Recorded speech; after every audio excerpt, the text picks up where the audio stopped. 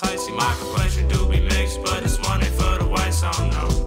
Girl, this one is for you. Yeah, I seen you with your kicks. I thought you had the best in me. You say the words for this. You just a picture in my head like Mona Lisa with Da Vinci. Just another portrait that I put on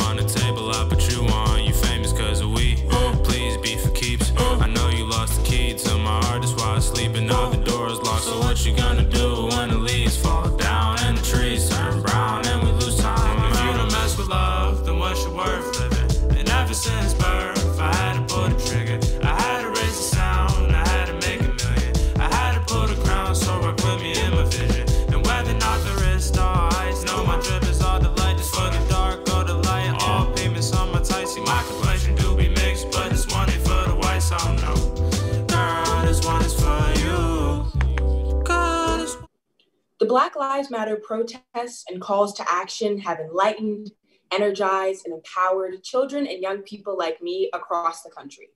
But it's also left us wondering how we can really assert ourselves, find answers, and do something during this moment of resistance and reclamation across our country.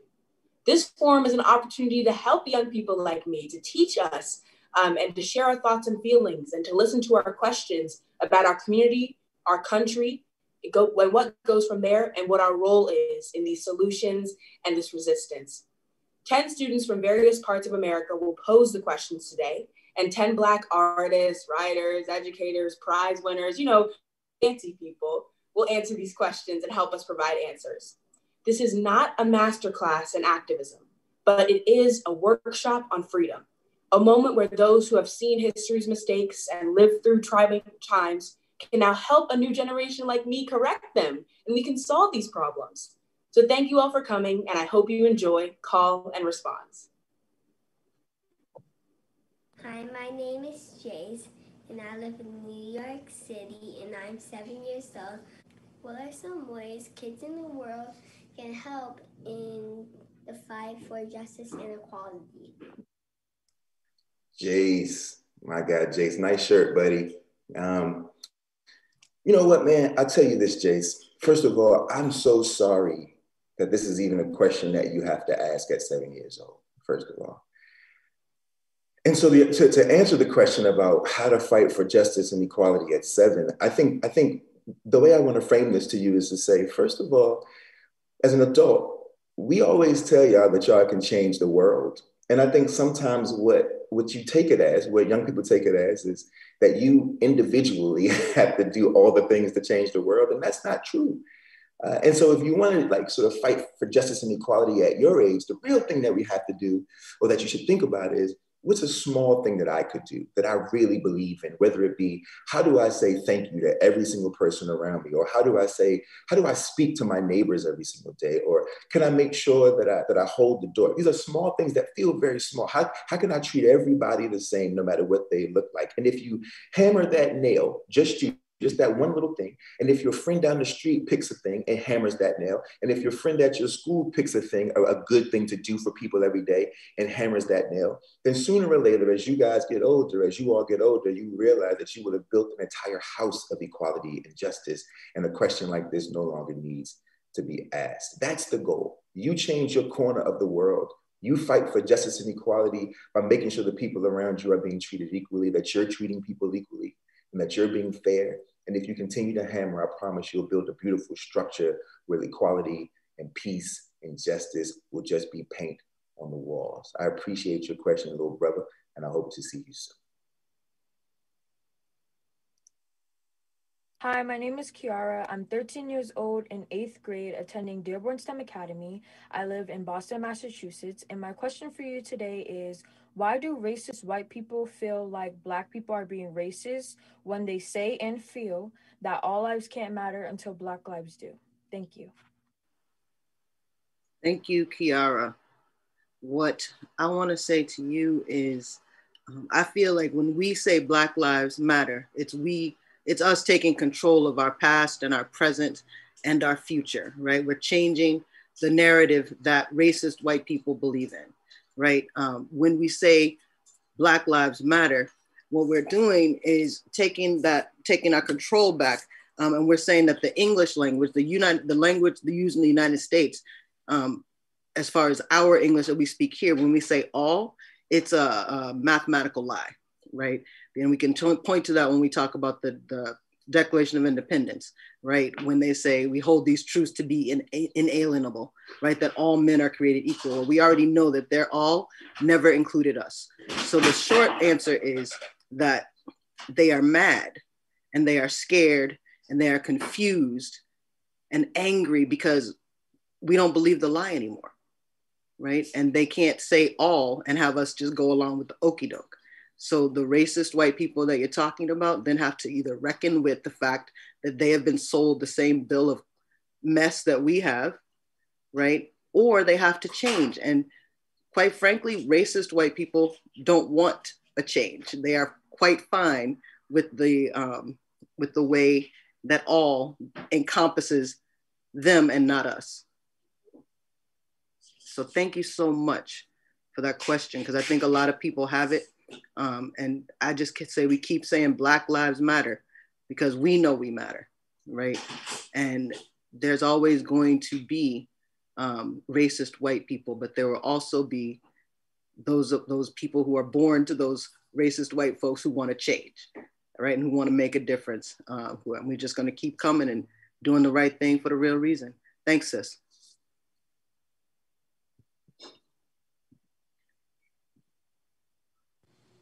Hi, my name is Daraja. I'm 17 years old and I'm from North Carolina. And my question is how can I encourage the people around me to start to care more about the issues that face our society and to want to make a tangible change? Um, especially since COVID started, I've started really learning a lot more and educating myself about the different things that are going on in the world. And I'm just wondering how I can help other people start to care more and want to educate themselves as well. Uh, Daraja, what a great question. And and I feel that question really personally as I try to get the folks around me to care more, to to see what's happening in the streets, to see what's happening online, to see what's happening around us and and to care. And and quite honestly, it's hard. It's hard. It can feel defeating. It can feel like you're doing an uphill battle because sometimes people don't want to care. So my my advice to you is first to tell your story. I think there's so much power in our own personal stories. And we, we share from that first person about our struggles, the things that we face, the things that we're up against. That gets people to just care a little bit more. And then I think from there, you keep getting educated, keep learning more, keep finding out more things that are going on, and then share what you learn. Share that with the folks around you. And I think when you tell that story, your own story, and tell those things that you've learned, it becomes a little infectious. And then the last part is let time do its thing. This isn't a one day thing or a two day thing, a one or two week or month thing. This is the long game. Keep telling your story, keep telling what you learn. And I think, I think, I hope, I pray that it'll become infectious to those people around you and that they'll care just as much as you do. So thanks for your question, Daraja. Hi, my name is Kennedy. I'm 13 years old and I live in Pennsylvania. My question is how do I get kids my age to read more books that are written by Black authors? Ooh, Kennedy, thank you so much for that great question. So, I'm a child of a world of Black stories. My mom was from Jamaica my dad is from Nigeria, and I was born in New York. We moved a lot all over the place. I'm the oldest, which is something I've always been very proud of and had absolutely nothing to do with. But from the moment I was born, I was given the precious gift of Black stories, down to even my name. On our bookshelves, at the dinner table, at bedtime, from their own lives, from Black authors across the diaspora, the stories helped me understand that Black lives are beautiful, powerful, dynamic, and come in infinite flavors. Black authors reminded me that I don't have to be anyone other than who I am, They gave me the space to dream of being who I wanted to be. I read to make meaning, I read to ask questions, I read to figure out what I thought, where I belong. I read to laugh, I read to cry, to be comforted or empowered. Black authors offer all of those gifts and more. And I know you know this because you asked this question. You know that despite you know the systems that seek to deny it black people are rich in story. We drip in story. We have a legacy of stories that is so deep and wide and high and long. They are a blessing to anyone fortunate enough to connect with them so remind them of that share the joy of what they are that if you want to be i don't know freaked out a little you could check out ron l smith if you want to see girls who are living and loving and thriving in the real world, read Renee Watson. You want to be inspired by hidden heroes. There's Kelly Starling Lyons or Don Tate, Gwendolyn Hooks. You want to be immersed in lush and lovely fantasy stories. There's Dhonielle Clayton. You want to sleep tight? Read a lullaby by Tameka Fryer Brown or travel on wacky adventures with the books of Lamar Giles. You want to be hit straight in your heart and feel all the feels. There's Rita Williams Garcia or Nikki Grimes. Tell them about Malaika Rose Stanley, about Malorie Blackman, Alex Wheatle, Atinuke, Marguerite Abouet. You know, I could go on and on and on. Tell them to check out the Brown Bookshelf, Just Us Books, the African American Children's Book Project, Golden Baobab. You can share all of our particular stories of Black joy, mistakes, innovation, of pain, of struggle, endurance, and ordinary small days. We bring our whole Black selves to our stories because we see all the different selves that you are. So, Kennedy, just tell them what you already know. Just share the infinite power and beauty of our stories and just let that shine. I know you got this. And thank you, Kennedy. Hi, my name is Mason. I am nine years old and I live in Massachusetts. My question is what role can authors play in the fight for racial justice? Hey, Mason. I am so sorry I came late to that question, and it's such a wonderful question. I think um, one of the major roles that authors can play is just talking about racial justice and writing about it and letting people know that this is something we deeply, deeply care for, the, for that we care that everyone can walk through this world safely. And I love that you're thinking about this. I love that you're thinking about authors. I love that you're thinking about human beings, just being able to move through the world without having to be afraid. Um, so let's keep writing our stories, as Bemi said. Let's keep telling our stories and let's keep making ourselves and our stories and our histories more visible so that everyone knows that we have a right to be here and that we're amazing. Thank you for asking that question, Mason.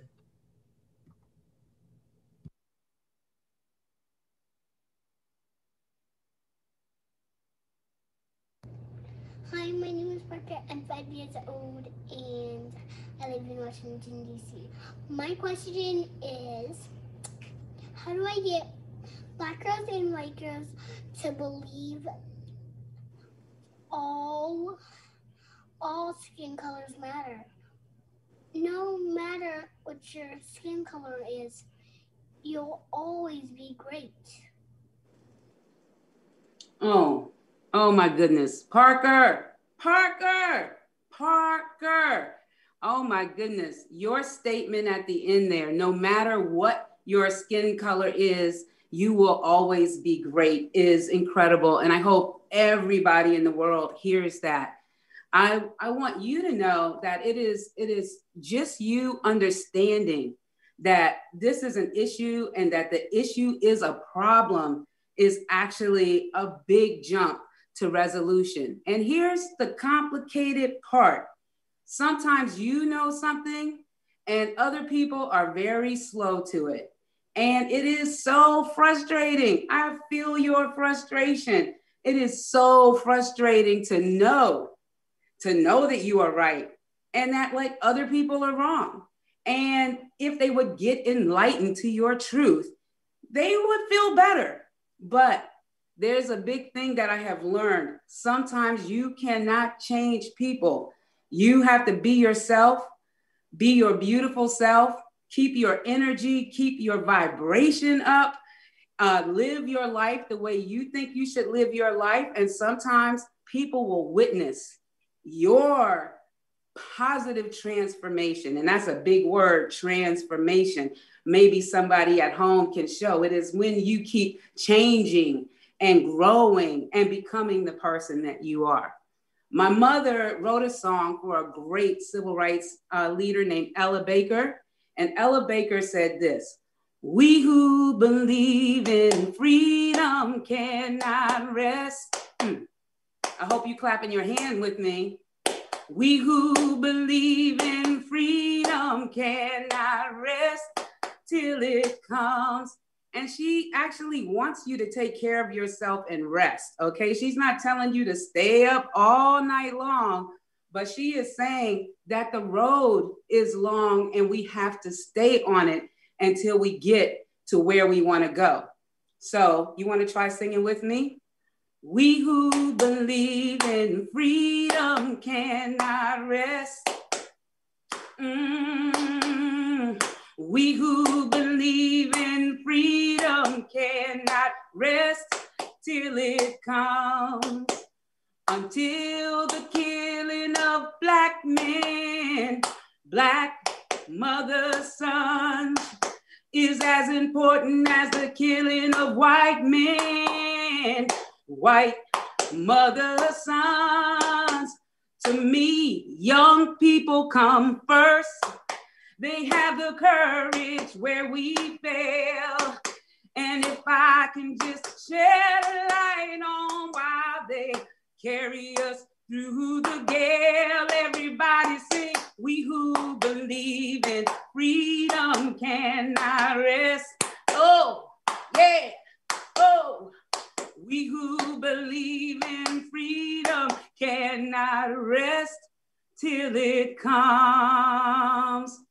Thank you so much, Parker. You are awesome.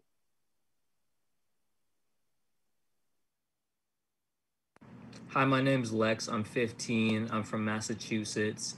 And my question is How can my generation help normalize expression of mental health and artistic creativity in our community? This is such a great question, such an important question. It is such a big question, Lex.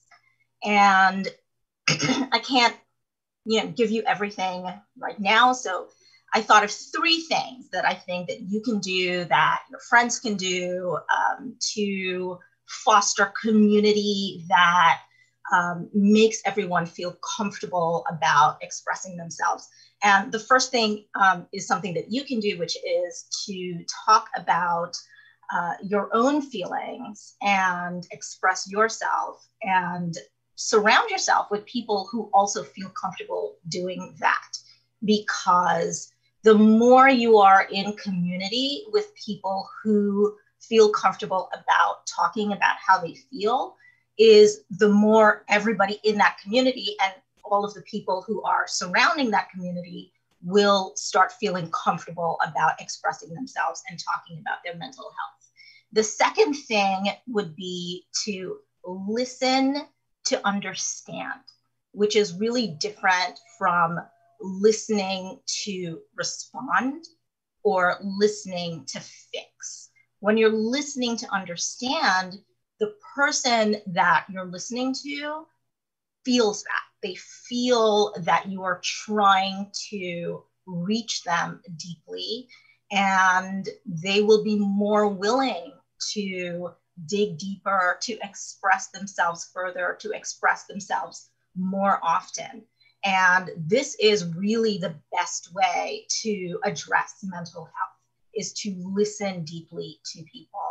And the third thing that I would um, ask you to try is to when you are experiencing somebody's artwork, whether you're looking at it or you're uh, listening or you are participating in it, experience it as well to understand it rather than experiencing it to evaluate it, which is, again, a completely different thing. It puts you in the position to ask questions, to have the artist themselves think more deeply about their work and their connection to their work and how they are expressing the things that they need in their work.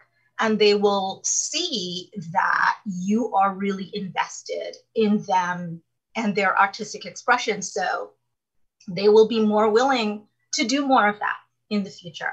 So these are all things I think that are really simple for you and your friends to do in your in your friend community, in your home, in your school. And I know it's a much bigger question, and, and this is only a very small piece, but Lex, thanks so much for it. It's a great question. Hi, my name is Barrington and I am six years old. Hi, my name is Madison and I'm eight years old. We live in Connecticut. Our question is What is the best advice you could give to young black kids living in America? Thank you. Bye. Bye. Wow, Barrington and Madison. That's a question. The best advice. So here, here's a few things I'm going to suggest for all the young people who are watching today. Um, and this is stuff I learned from my parents and the people in my community. Tracy talked about surrounding yourself with people, the right people. So the people in my community always taught me, my grandmothers, my aunts and uncles, my parents, act like you belong in the room. The room is a metaphor for the world, for whatever space you find yourself in. Act like you belong in the room, okay? Which requires a certain level of confidence. Like you gotta be confident. Um, so when I was three years old, which was a little younger than you, Barrington and Madison, I went to a school in New York City. It was a, a preschool. And um, my mother had read to me a lot of books. She had read to me books by Lucille Clifton and Nikki Giovanni and Langston Hughes. Ask your parents to read you that. And Dr. Seuss. And my favorite book was a book called Fox in Socks. Fox, socks, Knox, box. Fox in socks, socks in box. I love that book. I could, I wanted it read to me all the time. So one day when I was in school, at the end of the day, I had built a house out of some wooden blocks. And my house was fly, y'all. But this kid in my class came and knocked over my blocks. And I was mad. And so I went up to him and used the only weapons I had, my words. And I said to him, Those were my blocks that you flipped. Lest you want a quick payback, better fix my quick block stack. And this kid started crying. Oops. And so when my mother came to school to pick me up, the teachers were like, Mrs. Alexander, we have a problem. Your son Kwame is arrogant. He intimidates the other kids with his words. and my mother said, Thank you. We teach him to use his words. Here's what I'm saying to you you got to go through life arrogant, super confident. And when I say arrogant, I'm not talking about arrogant in the sense that other people are less than you. No, here's one of my favorite quotes, and I think Muhammad Ali said it I am the greatest, not because I am better than anyone, but because no one is better than me. And I've tried to go through my life thinking that way. And I suggest here's my advice you got to go through life, Madison and Barrington, feeling confident, feeling arrogant. People probably gonna be like, Kwame, you telling kids to be arrogant? Yes, I'm saying be arrogant in who you are. Love everyone else, and hopefully everyone else is arrogant in who they are. Be great. Know yourself. Surround yourself with the right people. Act like you belong to be in the room. That's my advice. Thank you, Barrington. Thank you, Madison.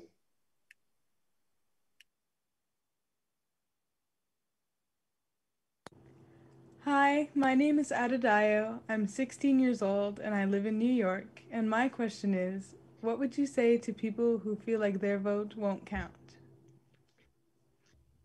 Adadayo, that's such a great question. Having just voted today with my 18 year old daughter, this was the first time that she voted, and I'm so proud of her. I'm so proud of Gen Z. I'm so proud of the young people who are so eager to vote.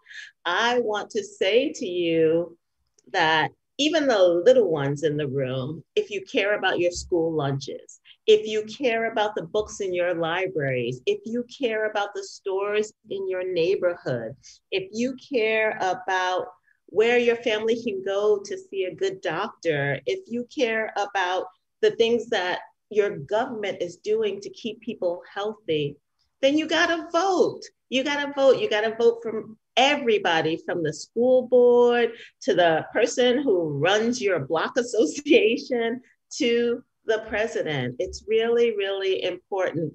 And I also want to say to you, women didn't get to vote until when the 1920 in 1920 and black folks got the vote in 1870 but what happened was then white folks tried to take the vote away from them. And when white folks tried to take the vote away from them, they made it very hard for them to vote. Sometimes they beat them up, sometimes even worse than that. And that happened for a very, very long time. And even now, when some people went to vote this year, they had to wait three hours, four hours, five hours to vote. This is kind of similar to what happened back then. People are trying to they're trying to keep people from voting. And you know why that is? Because voting is powerful. Remember enslaved people weren't allowed to learn to read right? And the reason they weren't allowed to learn to read and write reading and writing is powerful and voting is powerful your one vote does a lot to change a system and so get out there encourage your parents to vote, encourage your cousins and your aunties and your uncles. And think about this tool you're going to have when you turn 18. You're going to be able to walk into a room, cast that vote, and change the world. So go do it. Thanks so much for that question, Adadayo, and I'll see you somewhere in Brooklyn. Take care.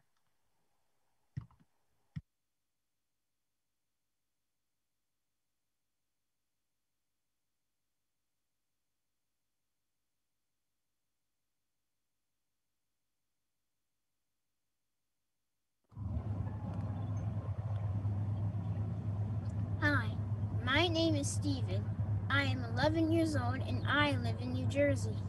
My question is I am not old enough to vote. So, how can I and my peers affect change in our communities? First of all, Stephen, where you at? You at you on, you on your penthouse roof? Where you hanging out at? You know, I'm trying to be where you are. Uh, it's a good question, my man. Good question, brother. You know what? You know, Jacqueline Woodson just said a lot about sort of all the reasons that we should be voting and, and all the things that we should be thinking about. And your question is, well, what if I'm not old enough? First thing we have to know uh, is there's no age requirement on, on effectively changing something, right? So first you have to understand that there is no I have to be a certain age in order to make change, or I have to, right? So I'm glad that you're already thinking that way because so many people feel like I gotta wait till I'm 18 before I can make a change. I mean, I think about Marley Dias, who is on this call, on this Zoom, right? Marley Dias started to change things when she was very young. And the reason why she started to change things is because there was something that she wanted that she could not get, right? That simple. And so she figured out a way to get it and to make sure other people her age, other young girls her age specifically, could have what it is that she wanted. And so I know there's supposed to be, there's probably a bunch of answers I'm supposed to give you right now, like all the ways that you and your, your friends who are 11 years old could plan protests in your school and in your neighborhood, how you all can, can, can make sure that you can ask for what you want when it comes to your school lunches, right? Like, like Jacqueline Woodson just said, or what you want to see in your neighborhood. You're not too young for that, right? But I want to kind of take a different approach here. And I, and I want to, I want to challenge you to get to know yourself.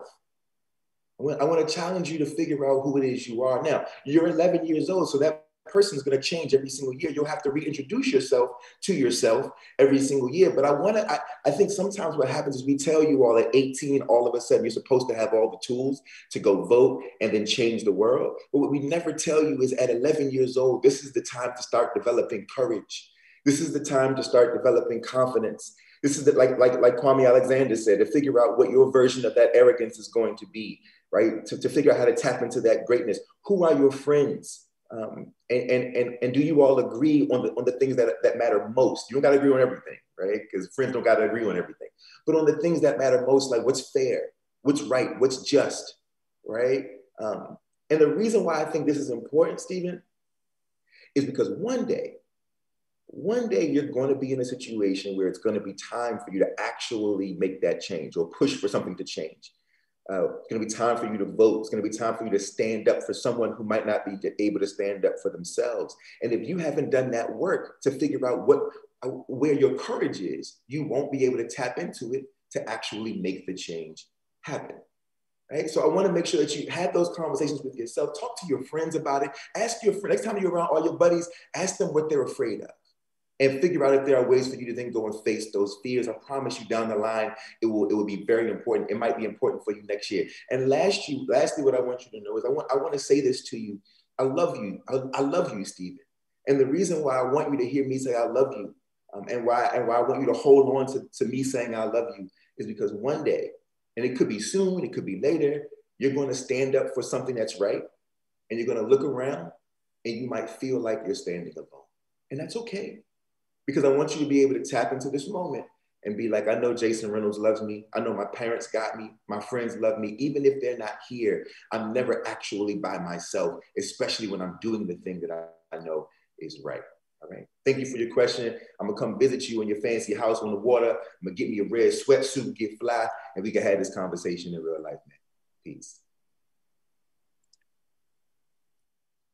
The night is beautiful so the faces of my people. The stars are beautiful, so the eyes of my people. Beautiful also is the sun. Beautiful also are the souls of my people. That was Langston Hughes. And this is us. This is us answering questions because questions are the things that, that keep us sort of confused or they, they, they stall us in our growth, or we're unclear about how to move forward. And so we wanted to come together tonight to offer some answers. It may not be the answer, but some answers for you all so that you can spend your time, young people, being beautiful, embracing all the beauty that there is in this world in your life. I think we have a little time for some questions from you all. You all have been watching us on ArtsEmerson's Facebook and YouTube page, as well as on the HowlRound page. So we're gonna take a few questions from you all, and then we've got a treat, we've got a surprise for you. Question number one is um, we're gonna ask uh, we're gonna ask uh, Jelani Memory to answer this question. So Jelani, here's the question. How has racial discrimination affected your journey to being successful today? You run a really successful publishing company, a kid's book about. So how has that kind of, how's the discrimination affected you and your work?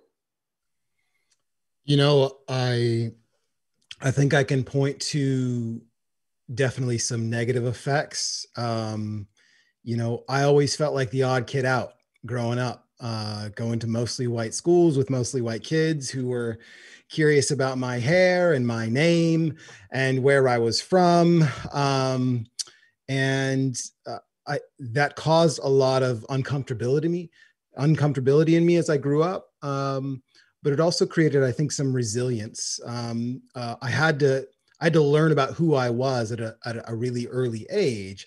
And I think that's a powerful thing for, for young kids of color is to find out who they are. And so I began to try and understand who I was, what was my identity. Um, and now, as I think about myself as an adult, is I am full of resilience and the ability to overcome things.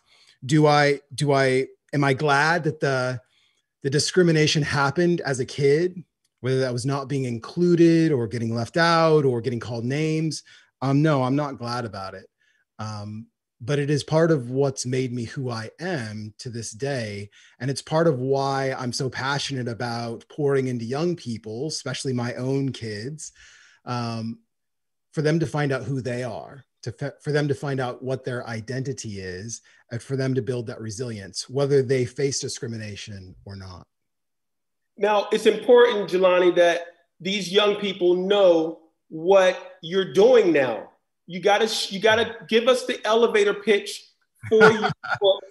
You got 30, 45 seconds. Tell us what it is you do so they can see that journey from facing the challenges to now what you do and what's so special and unique about what you do. You got 30, 45 seconds. Hold up a book, go. All right, let's see. So I wrote this book uh, two years ago, a kid's book about racism, as a way to talk to my six kids about race, culture, color, um, and and racism. Um, I wrote that book only for that audience of six, and now it has gone on to sell over fifty thousand copies. And I built a company around it. We have 27 plus books. We'll have 40 by the end of the year. And we make them on challenging, empowering, and important stories because we think these underrepresented voices need to be heard. And so we go out and we find those authors, those voices, those stories to tell through our books. And just one last little bit is we write them all in a single day. We bring in authors. So you don't have to be a prolific author that's the best in the world, a good writer. You just have to have a story.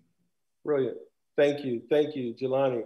Um, this next question um, I'm going to throw to the uh, coordinator of this event. Toshi Reagon. And, and I want to throw this to her. I want to recognize her for putting this together, but also more importantly, maybe we can get another song out of the answer. Because uh, that was, sister, that was so beautiful and empowering. We needed that. We needed that. One love.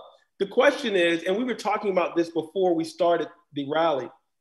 How are you taking all the racism that is happening in the world today in your life? How do you handle it? And are you scared? This is the question. Mm. This is such a great question. You know, you are allowed to have your feelings. You're allowed to, to feel what you feel, and you're allowed to tell the truth about it. Um, the, one of the, the genius things about our people and our journey is that we did use um, the sounds that our body makes as a way to home ourselves as the way to have something that somebody can't take away from us. And a lot of that ended up being music. Maybe some of you have heard about the spirituals, but it's not just the spirituals. You know, we stayed in our practice of creating, of, uh, of, of drumming. Um, and sometimes they would be like, you can't have the drum, but we would just be up in here like this and doing what we had to do to be who we are. And there's a, a great song, and he goes, Lord, I got a right, Lord, I got a right, Lord, I got a right, I got a right to the tree of life. And then you can say everything that's happening to you, right? You can say the bad things. I've been tossed around, but I got a right, Lord.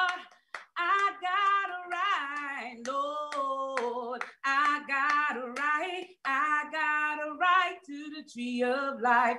And these songs are adaptable. So even if you're like, I don't know about that Lord part, you can just be like, oh, I got a right. And then you can kick this song any way you need to. And the point is, is that you cannot keep all of this inside. It is actually, you deserve better. You deserve better. So don't keep it all up inside, get it out somehow and keep moving. Toshi, is there one album? Do we say album anymore? Is there yeah, one, you guys say album.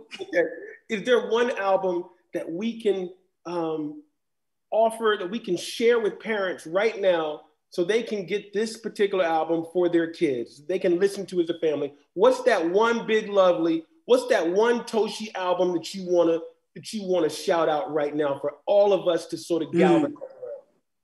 Oh, my favorite record that I've done is There and Back Again. I love that record. I it's it's just one of my favorites. And I love the song There and Back Again. It's kind of a mix of a camp song and like a Sam Cooke song and like just all kinds of things going on. So yeah, There and Back Again is is my is my one. And my daughter, I think her favorite record is called Toshi. It's basically my record called Toshi. So yeah. Word. Thank you. Thank you so Thank much. you.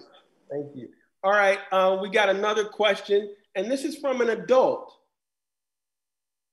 But we're going to answer it because, you know, we're going to answer it because I don't have any more questions that are coming up right now. So, um, and I don't know. Well, let me go ahead and say it. All right. Um, Jason. So here's the question. I know you looking at me like, really, Kwame? What you about to ask me? I already know what you're gonna say. Lord, I got it right. right. Right. Um, and this, I'm, a, I'm, a, I'm going to generalize this question and not specify it as it already is because I want to make it wider. What can white people, in particular, white young white people do to use their privilege to fight racism without undermining those with less privilege? Oh, that's a, I, you know, that's a good question. Okay. Okay. Cool. That's a good. I, I thought it was going to be, what can you tell? How do you tell a white person to be less racist? And I don't answer that question. Um, like I refuse to answer that question. But this question is all right. I, look, how do you use your privilege? First of all, the fact that you even know you have that privilege is, is step one, right? And the fact that you know that you must use it or that you, it would be nice, it would be helpful um, to use it to uh, to use it for the for the benefit or for to make to make life a little more equitable and fair for people who don't have it. That's step two, right? So so far we're, we're already halfway there. Um, but the question is, how do you not step on people who might already be doing this work or who might, you know, like how do you how do you not undermine the people who black people? How do you not undermine black people?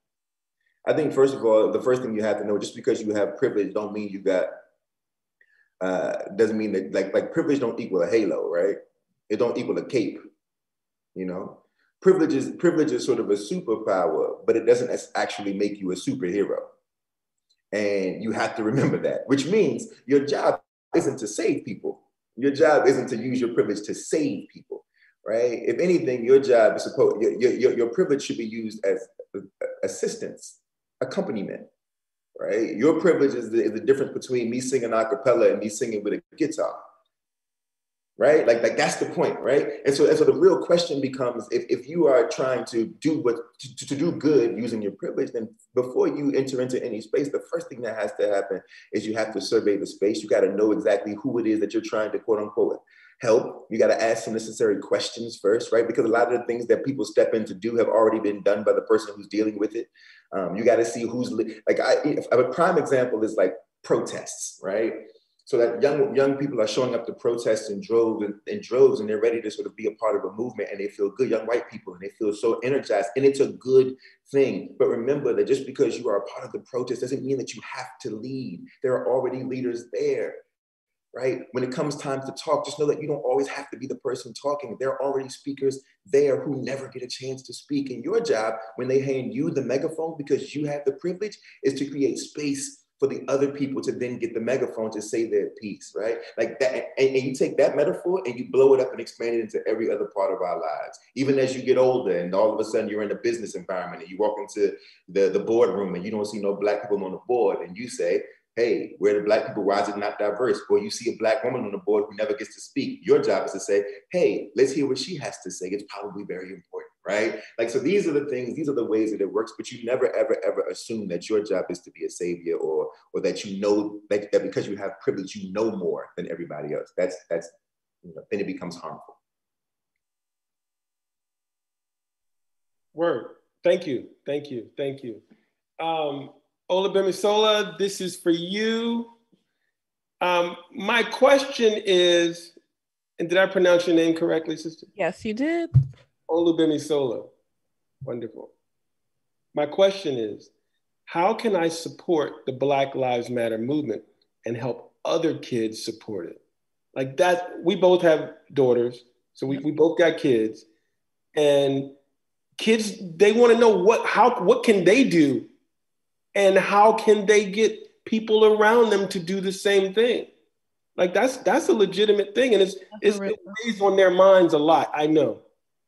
That's a real question. It's hard for me. Like I, other people have talked about this before, because part of me feels like it shouldn't be on kids to do so much of this work. That we as adults, in supporting them, in doing the things that we need to do, the focus should be on that. But it is a real question for kids. And my daughter, who you mentioned, Kwame, she was feeling this very strongly last spring and she wrote about it. She's a musician. Um, she wrote poetry, she wrote songs, she wrote an op ed. She wrote very honestly about her feelings and shared some ideas that after they were published helped other kids feel like, okay, my feelings are valid. I'm going to express myself. So that's one thing that I think kids can do is, as Tracey said, speak up and say how you feel and be honest about how you feel.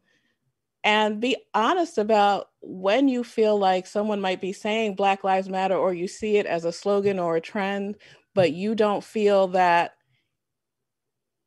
it really matters in your day to day life to the people who are around you, to the people who may have some measure of authority over you, to the people who are saying things that they're just not doing. So, speaking up is one thing, and speaking up to people that you trust, people that you know care about you, and ask them to do their jobs and support you. Ask the adults around you to do their jobs and support you. Other than expressing yourself, speaking up and asking the adults to step up, take care of yourself. Know that just by living and being who you are, you are supporting the Black Lives Matter because you are living and thriving as yourself, and that matters and that's important. And you are precious, and your story is precious. And just knowing that and holding on to that, in spite of all the things that can be happening around you and all of the things that can can really hurt knowing that is an act of courage being joyful is an act of resistance so i say hold on to those things thank you thank you um, we're going to bring toshi reagon back in right now and she's going to sing an intro to our special guest I can't, I mean, we can't get enough of it. The song. I'm good. I'm good. You know what I would what I would like to do is uplift Rakesh Quantu, who um, it did the opening song um, that you heard and uh, is going to enlighten us again at the end. Um, Rakesh is my my nephew, and you know how you you steal other people's kids and, and make them your nephew or your niece or your nibbling. So I, I, I got you, Rakesh. Uh, he's brilliant. Um, so I want to uplift him for his powerful work. Um, and then I want to uh, shout out HowlRound um, for, for helping us get this all out to everybody. And shout out ArtsEmerson for helping us get this all out to everybody. But I am so excited to introduce this next person. And um, you can go to LeVar and see all the spectacular things this man is doing. So without further ado, please welcome LeVar Burton. Wow. Thank you, Toshi, very much. I love you. Um, every single one of us, every single one of us is here for a specific purpose. If you're here, you are here for a reason. If you have a body, you have come here to do a very specific thing. We are all on a mission, we human beings. And that mission is to deliver our gift. We all have something special that we are here to offer the world. Like, I love to read aloud. And when I was in the third grade, I had a teacher named Mrs. Twig. Mrs. Twig would sometimes want to go to the teacher's lounge and make herself a cup of tea. And she would put me in front of the class with a book because I was the best reader in third grade. And Mrs. Twig knew that when she came back with her cup of tea, that there would still be order in the class, that the kids would still be in their seats and everything would be good. Well, Mrs. Twig, outside of my family, was the first person to recognize that I had a gift, a talent. And that's what I want to share with you today. Not only do you have a gift to deliver, but you don't have to be totally responsible for discovering what that is. We all have people in our lives that help us define why we're here, what our specific offering to the world is. We don't have to do it alone. So I'm going to ask you to engage in an experiment with me. No matter how old you are, no matter where you are, no matter who you are, no matter what you do, I want you to close your eyes for just 30 seconds. And I want you to focus on someone in your life a parent, a sibling, a coach, a teacher, someone who is helping you discover who you are and why you're here. Okay? Just 30 seconds. Focus on that person. Send them some love and appreciation, and I will watch the time.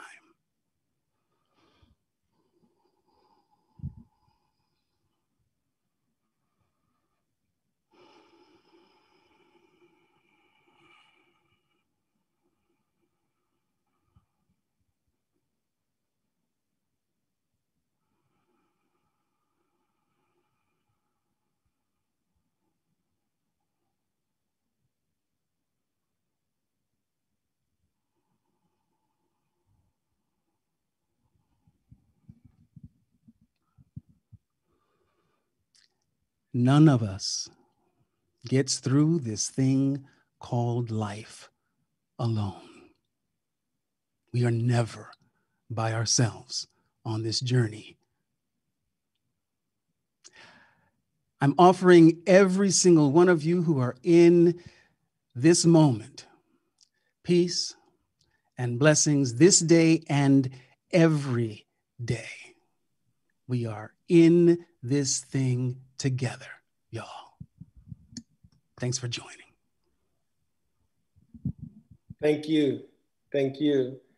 Uh, LeVar, go ahead and stay on the, on the video. And I'm going to bring everybody else back on one by one in a second. But LeVar, tell us the name of a Jason Reynolds book that kids should read. Mm, boy, my mind just went blank. I put you um, on the spot. Say what? I think you read from Look Both Ways. I oh look both ways. Thank you. look both ways. Look, look both ways. ways. Absolutely.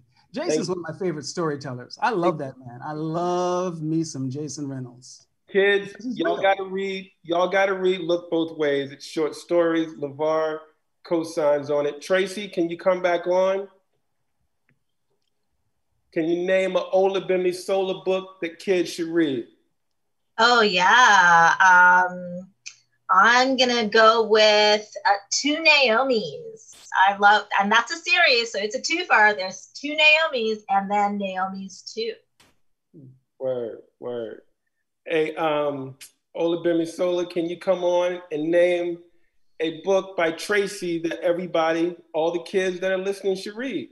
A book, I can name a whole series: the Jumbies, the Jumbies, the Jumbies, the Jumbies, the Jumbies, Rise of the Jumbies, the Jumbie God's Revenge, Jumbies all the way. Jelani, come on back on. And we've already seen one of Jelani's books that he's written, so we know which book that is. Um, a kid's book about racism. We're gonna ask um, Jason to come back on and to name a book by uh, Jacqueline Woodson that you recommend we all read. Oof, there's so many of them. Um, I should probably name the new one, but the truth is that the one I love, the one of the ones I love the most, got to be Brown Girl Dreaming. Brown Girl Dreaming. I, I, think I think I think it's a it's a masterpiece. Brown Girl Dreaming. Uh, Toshi and Letta come back in, and Toshi, you you recommended a couple of albums. Um, can you share with us um, Letta, uh, some work by Letta that you think we all should pay attention to?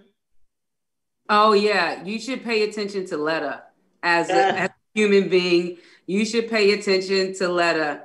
Um, Letta is a, a, a powerful part of the residency I have at ArtsEmerson and has designed a project. It's a, a five a five book project, and it is a collaboration between um, uh, artists who are going to make these book covers, and then the book covers are going to be um, in public safely, and people are going to be able to write their own stories and put them into the book, and then the book will travel around and keep gathering stories. And one day when we can all be together, all of the books will be someplace where people can actually view them and move through them and probably have to make a, a digital platform. But that's Letta. Like Letta be thinking about all kinds of things. So yeah, just Letta as a as a superstar. And I do have to shout out Jackie's last book because Jackie, I've been waiting for Jackie to do a sports book forever. I'm a big sports fan, and my favorite sport is football. And I have been boycotting the NFL for like eight years because of how they've been. And Jackie' um, latest book is uh, Before the Ever After. And it is, is such a beautiful story about a young musician and about his dad, who's a football player. And it's basically my whole thing. So uh, I I gotta shout that out. Anderson it's in verse. Shout out to Jackie. Anderson it's in verse. Five verse. Shout out to Jackie. We love you, Jackie. Jackie's oh, genius, genius Jackie. and Jackie's getting this love because she's a certified genius. All oh, right, Jackie, um, can you share a book uh, by Kwame Alexander? I got to shout out Muhammad Ali. Come on, man. Becoming Muhammad Ali is fire. If anyone has not read it yet, it, well, it's new. I mean, we could talk about the crossover too. We could talk about your body of work, but I think the thing about Muhammad, being such a Muhammad Ali fan and getting to see his young life in Kentucky and his early days as a boxer and seeing it in both prose and verse is fire. So I, am I'm, I'm all about seeing myself some Cassius Clay on the page, and and you brought it, and um and and and Letta Neely, I just got to throw your here into the mix, you know, um, which is a brilliant collection of poetry. So, you know, we we are we are fire up on the screen. Thank you. And I, I want to shout out Marley Dias gets it done, and oh so God. can you. Mm-hmm. And Marley wrote that book. I want to say she was like eight. He was like three and a half years old. Right? three and a half years old. Right. Yeah. So, and that that book really sums up tonight. Um, getting it done.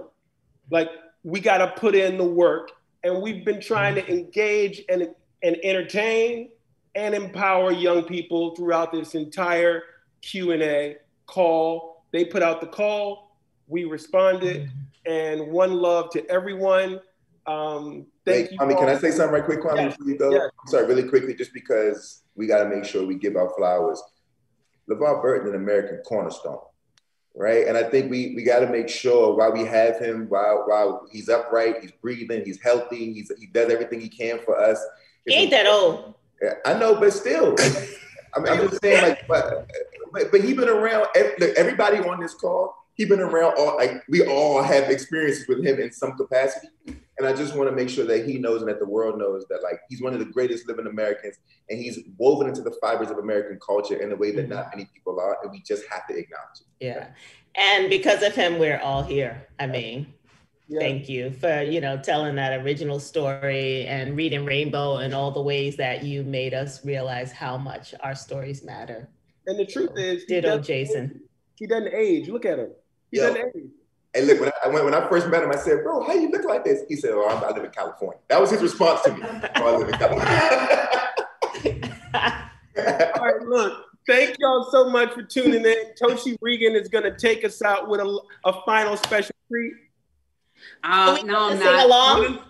What I'm gonna do is say, let's give a big shout out to True Biz ASL interpreters who have like completely rolled with this this bunch of people. Thank you so much. And I want to say, VJ, you can kick us off on home. Thank you so much for taking care of us tonight. Thank you. Good night, everyone. Good night, everybody. Love y'all. Bye.